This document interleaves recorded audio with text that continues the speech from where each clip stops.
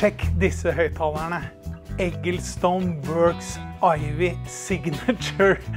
Verdens lengste navn der. Men de høyttalerne har bidratt til mye.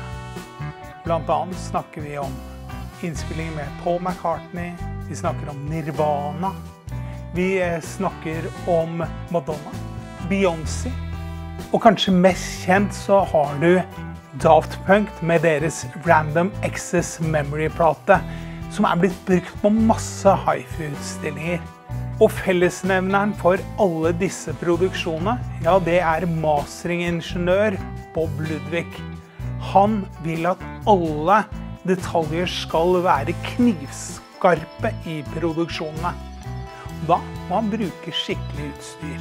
Og det er ikke bare disse høyttalerne. Han bruker det legendariske celloforsterkeren, som ikke lenger er i salg. Han bruker ikke bare én celloforsterker, han bruker altså 3000 watt med celloforsterkere for å blåse liv i eh, disse høyttalerne. Og det gir resultater også for artistene, som kommer tilbake gang etter gang etter gang.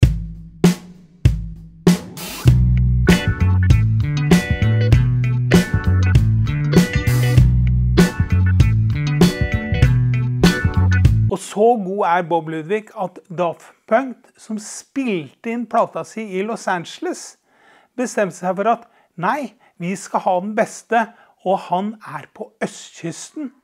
Bob Ludvig. Ja, hva er det de skal gjøre da? De har jo drevet i mange år med innspilling av platen, og den er jo analogt innspilt. Jo, de loster opp tapene sine, og så får de da en av ingeniørene til å transportere dette til østkysten, til Bob Ludvig, for å lage en master som er legendarisk. Men hvordan låter disse høyttalerne? Ja, det skal vi snart få vite. Men først må vi vite litt mer om hvordan de er konstruert.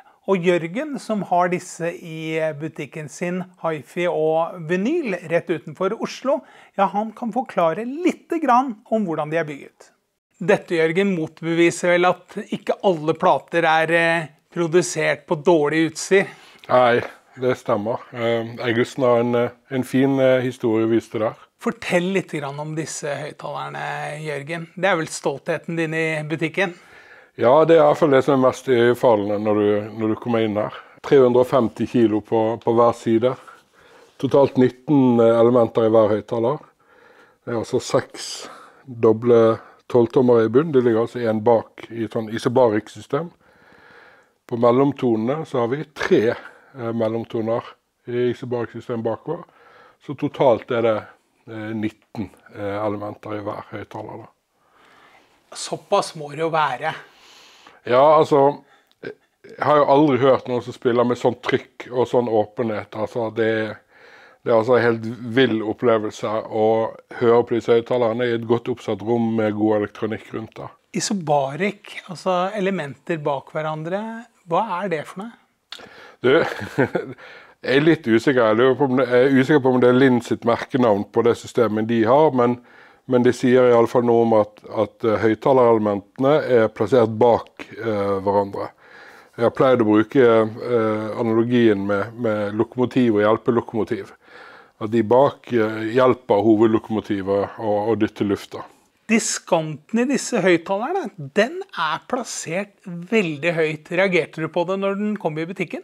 Jeg, jeg gjorde det. Jeg har hatt problemer med å stille inn eh, skikkelig. Jeg må ta lang avstand eh, for, fordi at diskanten skyter høyt. Så de fleste likte stående bak benken, eh, og der var det klart best lyd. da. Vet du hvorfor de er så høyt? Nei. Da må jeg avsløre det. Det dreier seg om at Bob Ludvig, altså mastering-ingeniøren, har vært med å utvikle de.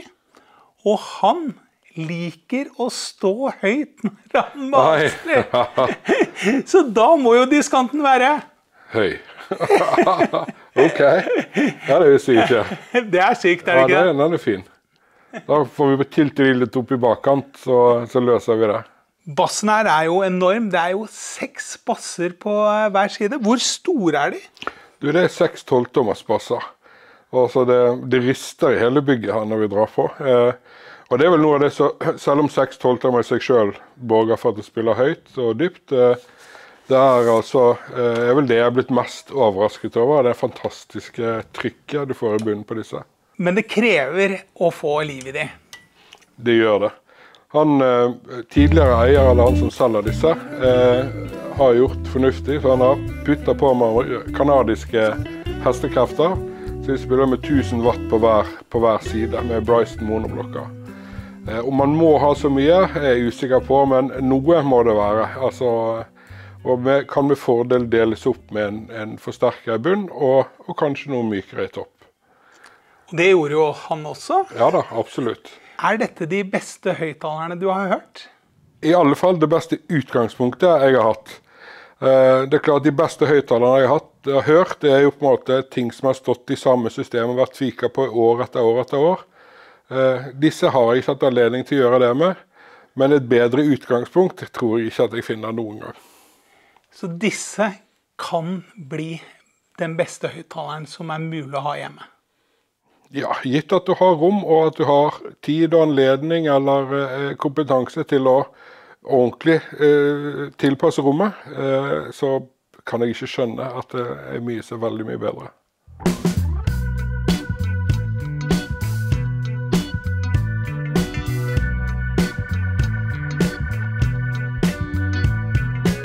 Dere lurer selvfølgelig på hvordan de låter.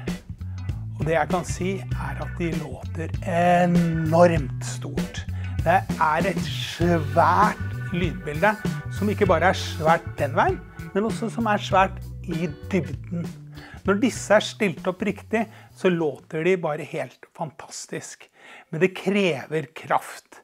Og jeg hørte de altså med gedigne effektforsterkere i bånn, men også da rør i toppen. Og det gjorde at de var fantastiske å lytte til. Men eh, jeg lyttet til faktisk stående, akkurat som Bob Ludvig, for å få det aller beste eh, utbyttet av det. Bassen er helt fantastisk. Særlig mellombassen, som det er så problematisk å få til. 100 hertz bare dunker inn. Du får rytmen i deg, sånn som dette. Men også dypbassen er helt enorm. Og Det merker man spesielt på opptak som Kanye West Black Skinhead, som både har mellombassen for å dunke litt ekstra, og som har dypbassen som går Det er sånn jeg hadde lyst til å ha de hjemme, men på 13 kvadratmeter så blir de kanskje litt store.